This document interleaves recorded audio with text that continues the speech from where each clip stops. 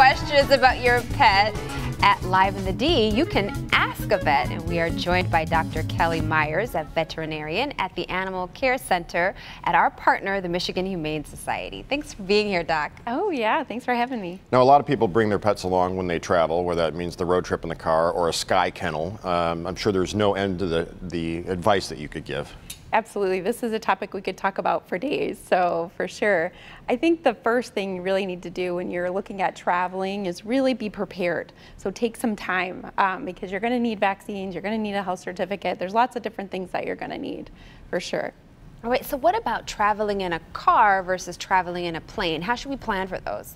Yeah, actually, um, there's a, a, law that a lot of people don't know about, and that's that you need a health certificate to leave the state with your pet. Um, pets traveling across state lines, across country lines, need a health certificate. Um, in order to do that. So the first thing you want to do is um, schedule an appointment with your veterinarian. The other thing when traveling in a car um, is you need to make sure safety. Safety is first. And we we don't do a very good job of restraining our pets inside the car. And so many mm-hmm. times they're, they're running about and that can be distracting for the driver. It can be really bad for the pet if you were ever to get in an accident. So we really recommend uh, their safety belts for dogs, um, if you can get them used to that. The other thing is to um, confine them in a kennel um, and then make sure to uh, attach that kennel either with a seat belt or, or some kind of um, bungee cord to make sure that that's safe for the pet.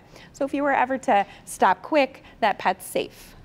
Now we see the dogs hanging out the car windows all the time. I mean, that's it's it's fun for them. It's cute, but it's also dangerous. Yeah, absolutely. It can be very dangerous, especially if you stop quick um, at a stoplight or someone rear ends you. Um, it, it, could be very dangerous for them. Okay, so basically, don't let your dogs hang out the window. Unfortunately, it's right. really cute, but it's but really no. not safe for them. Okay. It's kind of like letting your child hang out the window kind Not of a good idea. We wouldn't recommend doing. Jason's oh. eyes just popped out of his head. Um, do you write prescriptions for people who have flying anxiety to have their dog on the plane with them? yeah, not for people, but for pets. So um, pets do get car sick. Actually, we are just talking about cars, so um, Dramamine is also safe for pets. You'd want to make sure to call your veterinarian because the dose is very different for a dog mm. um, than, than for a person.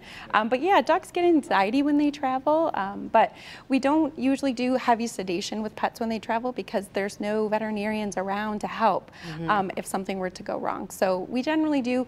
Um, there are some medications that we can do, but definitely work with your veterinarian. All right, so now we have a couple of questions from some pet owners. Now this question is from Rachel. This is the family Corgi. Sybil is a uh, who is showing signs of jealousy around her two-year-old niece. Is this a concern? Yeah, so dogs are pack animals, and so they respond to people and food and other dogs just like a, a dog would in a pack. Mm. And so we think sometimes um, the behavior that they're showing is jealousy, but it's just how they're responding to, to the other person, right? And a two-year-old moves quickly. Um, that can be scary for a, for a dog. And so we recommend that you um, go to the veterinarian um, with the dog. But it sounds to me like the dog is showing some signs of uh, aggression towards that child and, and sounds like it's early signs, so probably okay, but definitely should work with the veterinarian because it could get it could get really serious. Yeah. All right, our next question is from Michelle. Uh, her dog Benny tends to eat grass. I mean, it's not always indicative of upset stomach, is it? It actually isn't. So dogs are omnivores, so they eat both meat and plants. And so them grazing on a little bit of grass is actually natural behavior. Hmm. Um, and so don't be too concerned. Um, there's lots of different theories around why they do it. Um, it tastes good, it's fresh, it's crunchy, um, all of those different reasons. Sometimes it's because they're hungry and so it happens to be out in the yard when they're out there playing.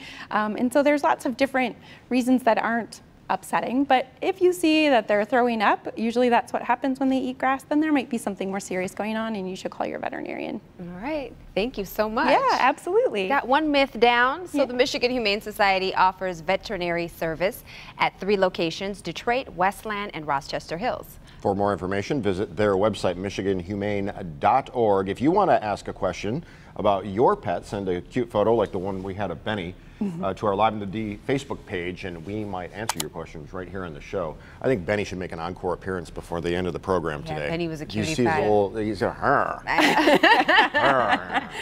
love that. Next on Live.